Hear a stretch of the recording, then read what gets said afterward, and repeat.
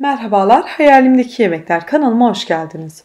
Bugün sizler için iç malzemesi hiç pişirilmeden kolaylıkla yapabileceğiniz lezzetli mi lezzetli hazır yufkadan börek tarifi hazırladım. Hazır yufka diyorum ama el açması lezzetinde ve yapılışı da oldukça pratik. Hadi gelin sizleri fazla bekletmeden bu güzel ve kolay tarifimizin yapımına başlayalım.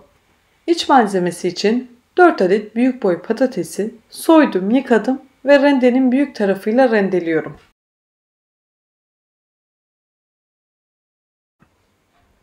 Patateslerin hepsini rendeledikten sonra eğer suyu size çok fazla gelirse sıkabilirsiniz. Ama malum yurt dışında olan yufkalar birazcık daha kalın oluyor. Bu yüzden suyunu hiç sıkmadım. Üzerine yarım çay bardağı kadar sıvı yağ, 1 çay kaşığı kadar pul biber damak tadınıza göre azaltıp çoğaltabilirsiniz. Yarım çay kaşığı kadar karabiber, 1 tatlı kaşığı kadar toz kırmızı biber. Fazladan biraz daha renk vermesini isterseniz ve tatlıysa daha fazla da kullanabilirsiniz. Ortalama 1,5 çay kaşığı kadar tuz ama damak tadınıza göre ayarlayabilirsiniz.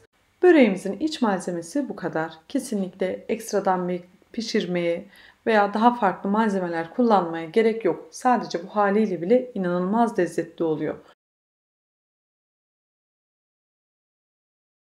Güzelce karıştırdım. Bir kenarda beklesin. Şimdi böreğimizin üzeri için sosunu hazırlamaya başlayalım. Hem üzeri hem de ara katlar için kullanacağız. Bir çay bardağı tereyağı, sıvı yağ karışık kullandım. Tereyağını erittim bu arada. Bir su bardağı kadar süt. 2 adet yumurta yarım çay kaşığından daha az olacak şekilde tuzu ilave edip güzelce çırpıyorum.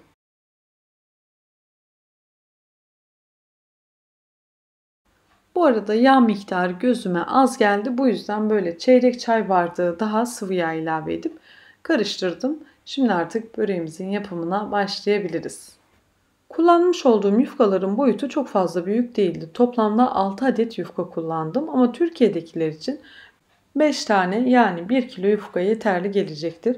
Hazırlamış olduğum sosu yufkanın her tarafına gelecek şekilde sürüyorum.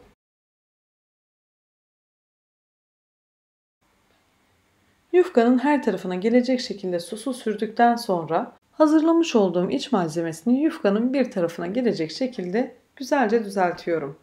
Bu güzel tarif Havva Aras'ın en güzel, en lezzetli tariflerinden biridir. Çok hoşuma gittiği için sizlerle de paylaşmak istedim.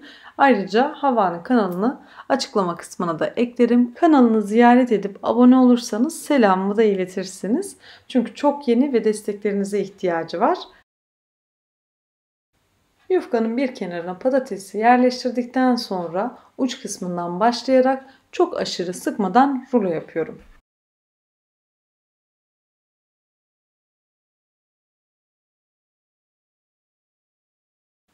Sarmış olduğum ilk yufkayı kendi etrafında dolayarak rulo yapıyorum.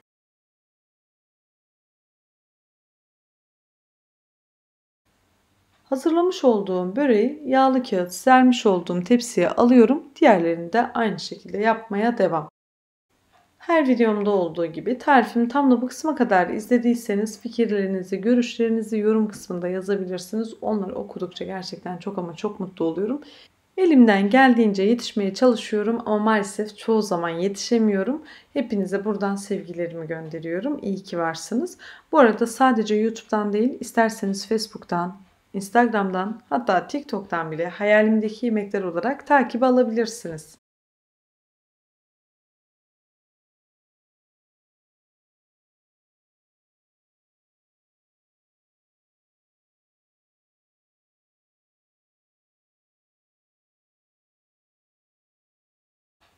Böreklerin hepsini hazırladıkça tepsiye alıyorum.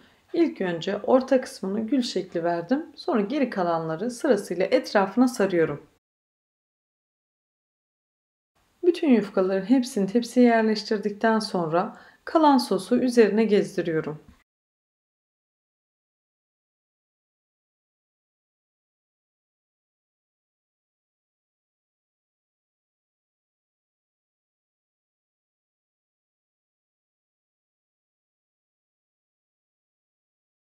Böreğimi önceden ısıtmış olduğum 200 derece fırında alt üst ayarda fansız olarak pişirmeye gönderiyorum.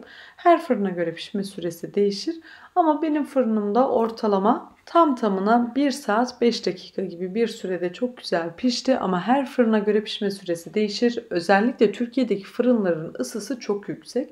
Bu yüzden pişirirken kontrollü bir şekilde pişirmekte her zaman fayda var.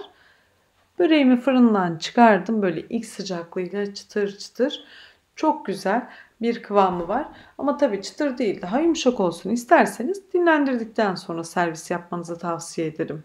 Dinlendikçe daha da yumuşak bir börek oluyor. İçin çok güzel çekmiş ve patatesleri hiç önceden pişirme işleminden geçirmediğimiz halde hem çok lezzetli hem de çok güzel bir şekilde pişmiş oluyor. Bir bıçak yardımıyla dilimlere keserek hemen içini de yakından göstermek istiyorum. İster kendinize ister misafirlerinize gönül rahatlığıyla yapabileceğiniz çok lezzetli bir tariftir.